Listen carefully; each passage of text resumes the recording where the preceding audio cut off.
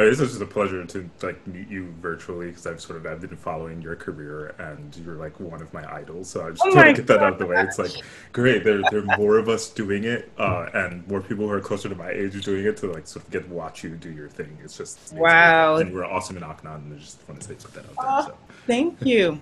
And it's so nice to meet you. Oh my gosh, I, I, I haven't been keeping up as much as I usually do on Ryan Center Young Artists. And so when Craig and Dan told me that we were going to be talking and that you were in the program, I was just like, oh my gosh, yes, I need to meet him. And I'm so happy to to um, be on this concert with you.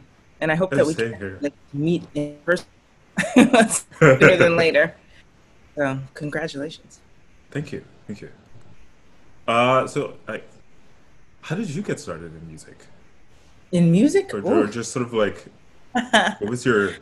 This is a big question. What was your path? um, so I actually started singing when I was really young, like five, but in church, in the church choir. So I grew up singing gospel and jazz, and um, classical music didn't start, actually, classical voice didn't start until I was a senior in high school, which is actually oh wow. pretty late. um, but I've always played classical piano. I've played since I was five, so classical music was in my world. But I had in high school a final elective to take in order to graduate, an arts elective. So I decided to join the choir, and my my voice teacher, my choir teacher, immediately noticed a natural gift. So she suggested that I start studying privately, and I said, "Well, that's kind of crazy. I mean, I'm a senior. I think I'm going to go to college to play basketball, and I don't really have the time." But with all of the time that I didn't have, I I decided to study privately, and so I began to study with a local teacher, voice teacher, and I just completely fell in love with um, with classical voice. And long story short, um, I was supposed to go to college to play basketball, and I ended up kind of having to choose between music and sports. Oh wow. So I, I uh, it was a very traumatic experience where I, I ended up not playing basketball competitively again, and I decided to audition for conservatories with very little training. So I, I did, and I ended up going to Manhattan School of Music for my undergrad, and, and I was very, very green.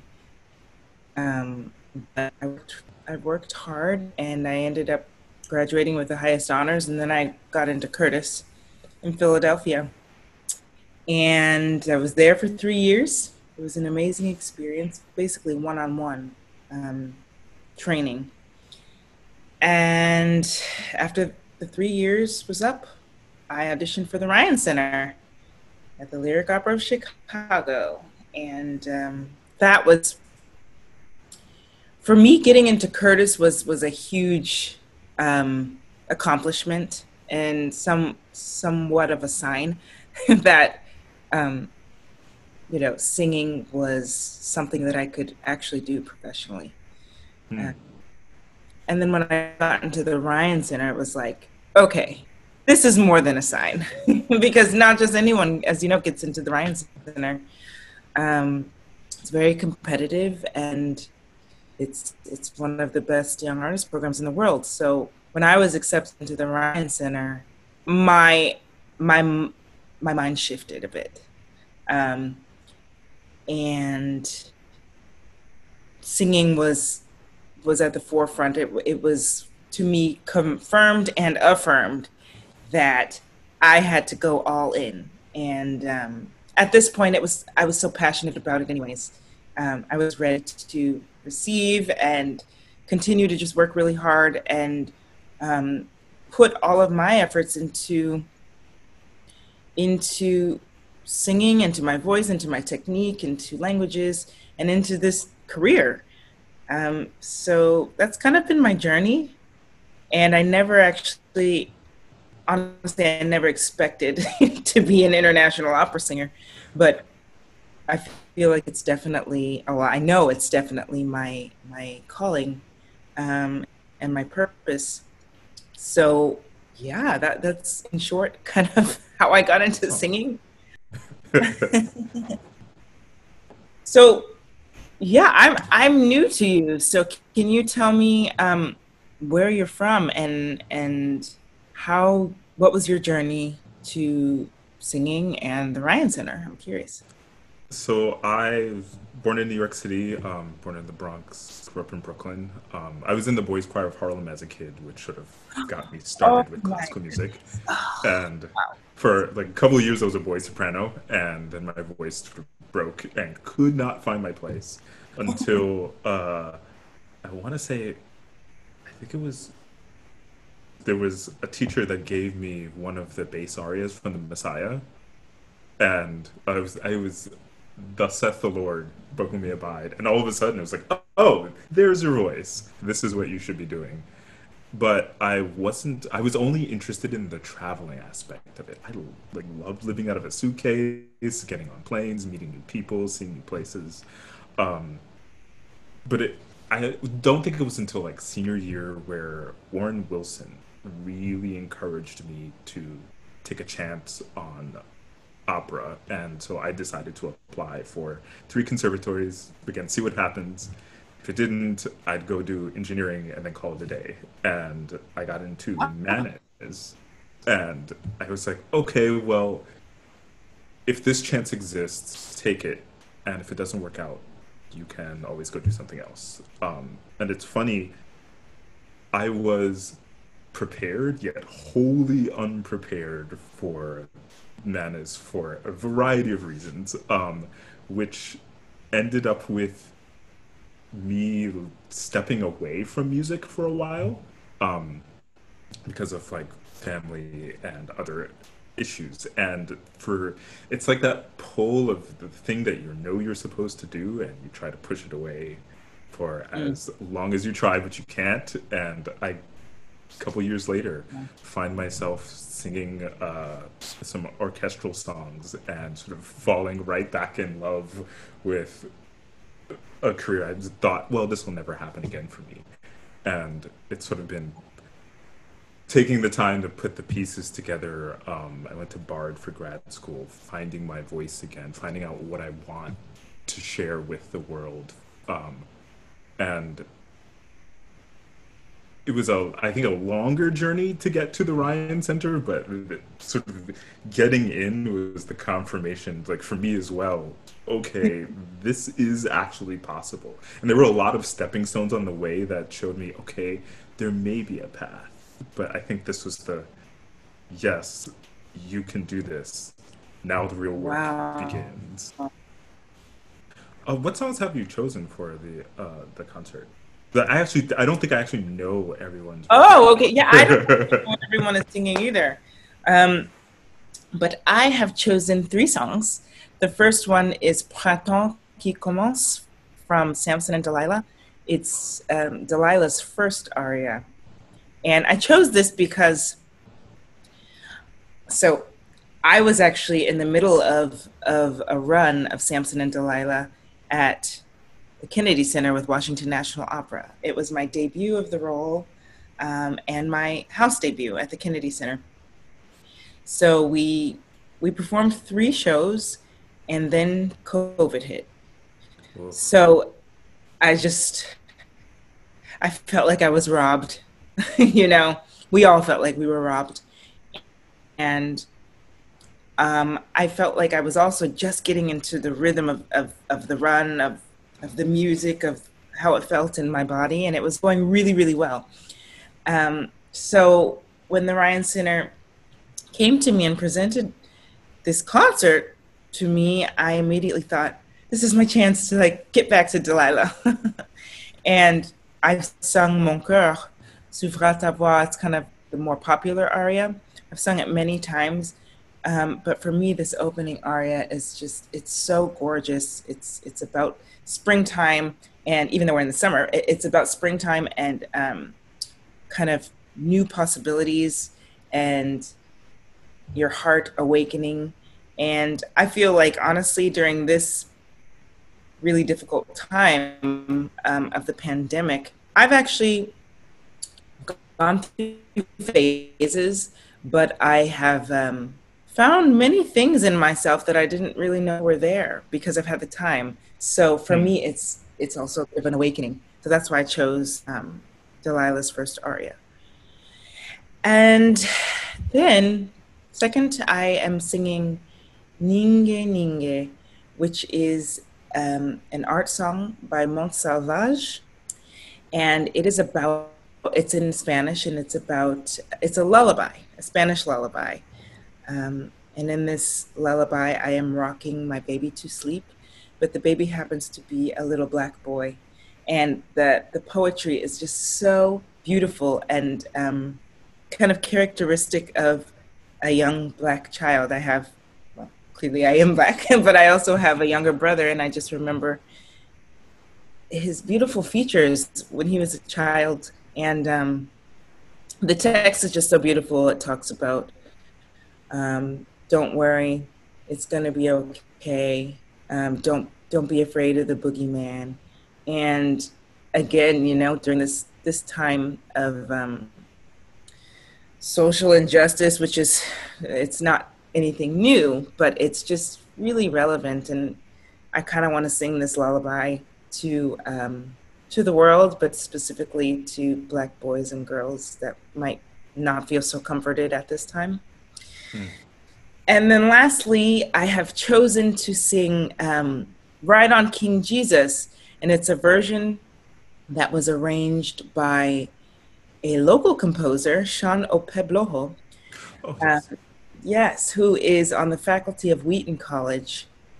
He's a dear friend of mine, an incredible, extraordinary uh, writer for The Voice. Mm-hmm. And I just love singing his music. We are working on a second album, actually, of spirituals with wow. Will Liverman, a dear friend and colleague. Um, so this will be actually on our second album. And I asked him, I said, Shawn, would it be okay if I debuted this early? uh, he said, absolutely, because we've been working on the recording for a couple of years now. And, and with COVID, it's just, yeah, it was supposed to be out by now. yeah. Um, but he please, please present this to the world. So I thought, what a better place um, than kind of where it started professionally for me hmm. um, than the lyric. And he's, you know, based in Wheaton, which is maybe an hour away from Chicago. So it just, it, it makes sense. And it's such an incredible arrangement. And Craig Terry is a fantastic pianist. And he is just like a person who I can say, Craig, let's do this. And he's just, he, he's so up for it, which I, is one of the many things I love about Craig. Um, so yeah, we're we're going to debut this piece and and hopefully it'll be well received. yeah, sure. I, I, I love all of this music. Amazing.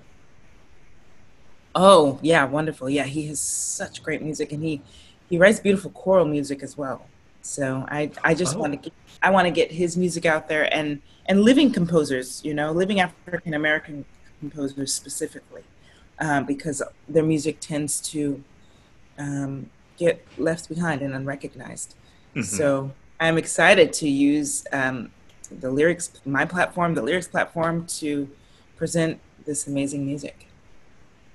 So, um, what have you decided to sing on this concert? So you were mentioning criteria earlier, and we were talking about repertoire and composers of color. We we have sung, and Terence Blanchard, of course, came up because I did. I was a part of Fire Shut Up in My Bones. Oh, uh, that's summer OTSL, which was amazing with so many amazing people. Um, and Harry T. Burleigh came up, and I've sung a fair amount of his spirituals. And for some reason, did not know that he'd written quite a bit of art song. And he introduced me to five songs of Laurence Hope, which uh, was the pen name for uh, Adela Florence Nicholson, who was a woman writing um, as a man just to get her poetry out there into the world. And just the, the songs always talk about like unrequited love and loss. And I think I was having this conversation last summer. When a lot of our stories get told, there it isn't. It's it isn't just the everyday. Oh, this is what. Uh, this is a normal day in the life of a black person. They go through love, they go through loss. There's uh, and all the things in between. And so these stories stuck out to me just to be able to say, you know, we are normal human beings too that have normal everyday problems and normal joys and yeah. Mm, that's beautiful. Oh my gosh i can't wait to hear. So are you singing all of the songs?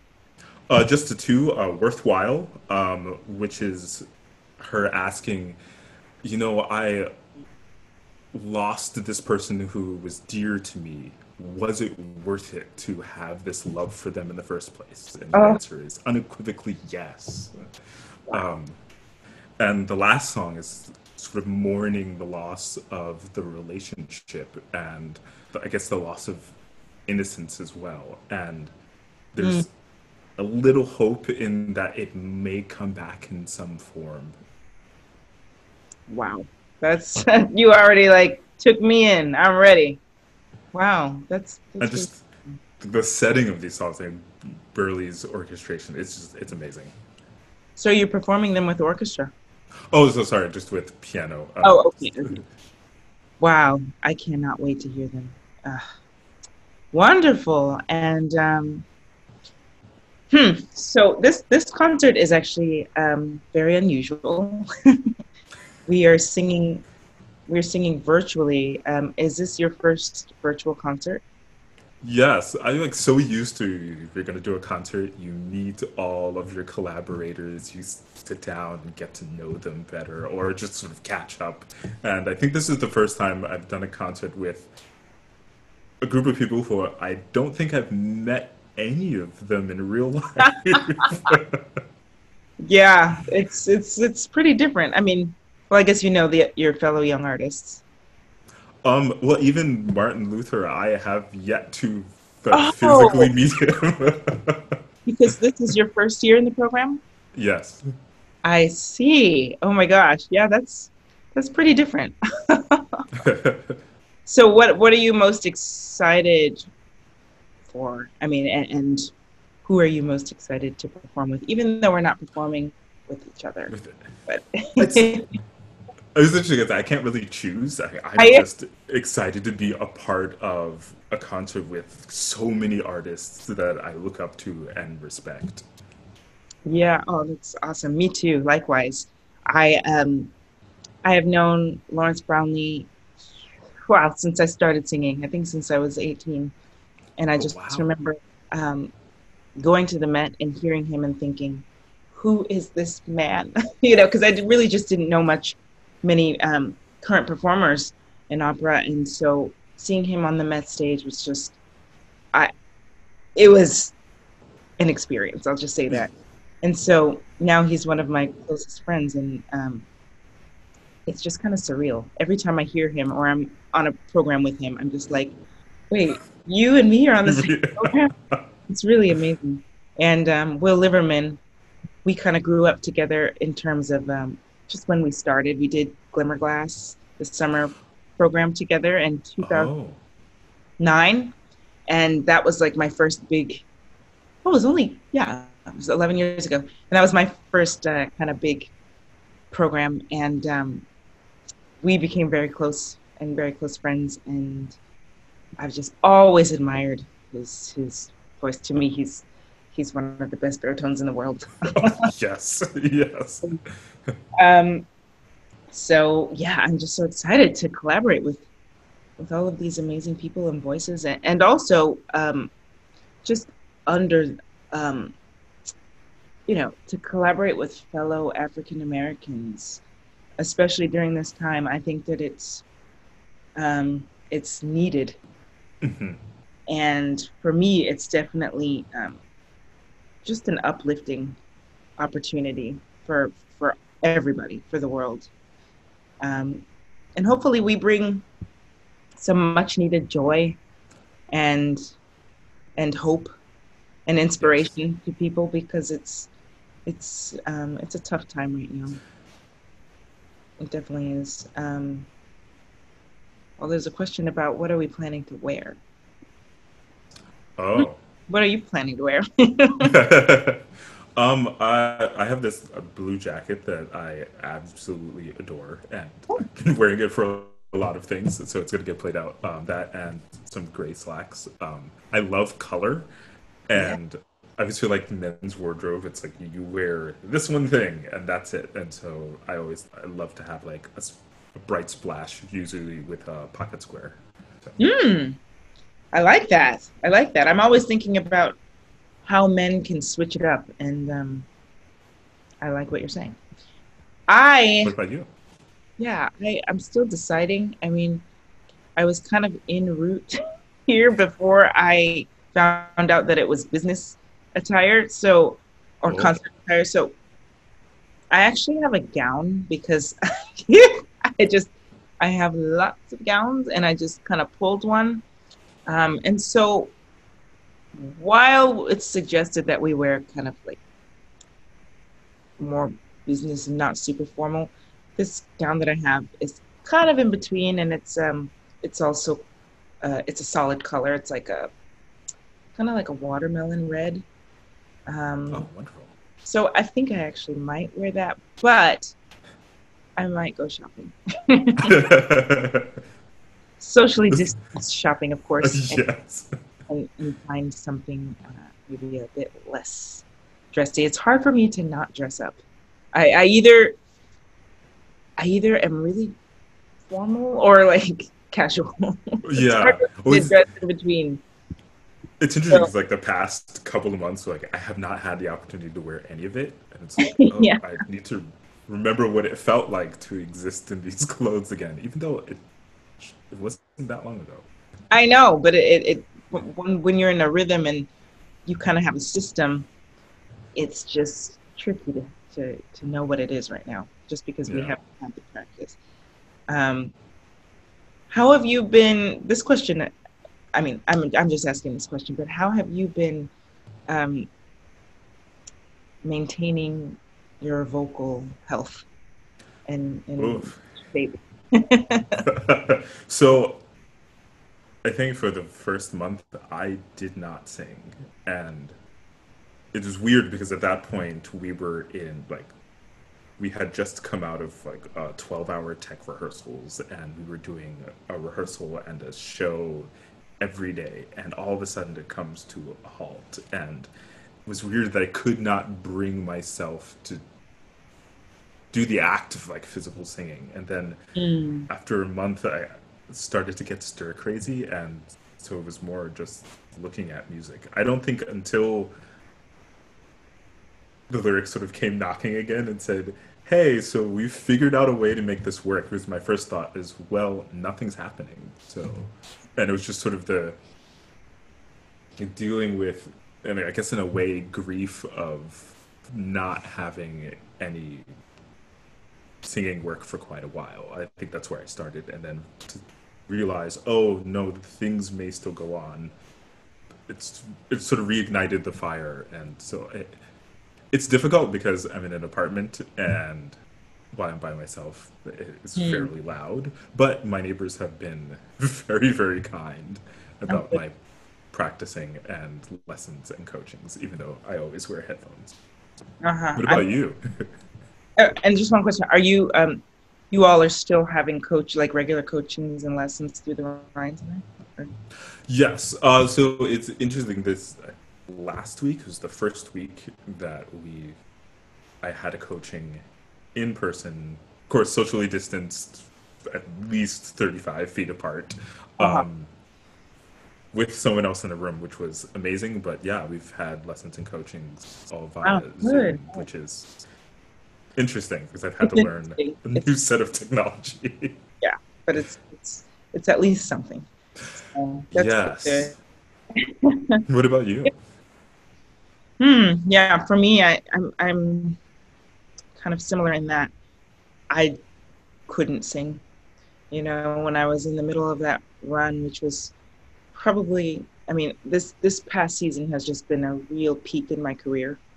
Um, so to go from like an extreme high to having it all stripped um, was really difficult and, and, and devastating. And I, it's like I went through phases um, the first phase was shock and disbelief, and then the second phase was like me wanting to fight back and you know like no we we can still do this. So I was I, I was initially like making lots of um, kind of like virtual content. Um, but then I really got tired of that because it it just wasn't as fulfilling, you know. Mm. And I and I felt like, why am I doing this? I have gig after engagement after engagement was being canceled, so I just kind of was depressed for a while, and I I accepted that and I went through felt those emotions, and then one day I thought, okay, I need to snap out of this because, oops, sorry, because I actually um, I miss singing and I miss uh, creating.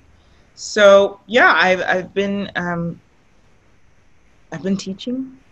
I've been um, doing some amazing projects. I don't know if you know, but I, I got um, an opportunity to sing in LA with the LA Philharmonic.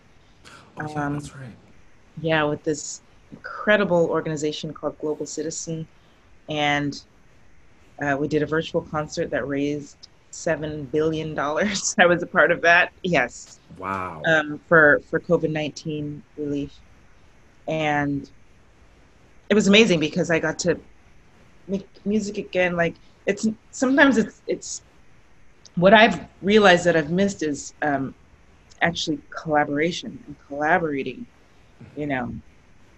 So I was able to do that again, and it was just so amazing. Um, and then under under that umbrella of, of um, raising funds for COVID nineteen relief was just even more satisfying, and also co- like being on the same program as mainstream artists. That to me was oh yeah, really fun. and um, and for me, honestly, I think that um, opera could use a bit more of that. um, so yeah, um, once I got that call, it was it kind of invigorated me, and I'm now doing a lot of interesting um, projects. Hmm. But yeah, being more intentional about like actually practicing is something that I'm doing because whew, if you don't use it, you lose it. And, right. uh, so I, have gotten back into kind of a rhythm of, of, of, practice. And I actually need to call my voice teacher and have some lessons. But it's been helpful to teach also because it just like enforces what I already know. Ah. So yeah, that's that's been really good.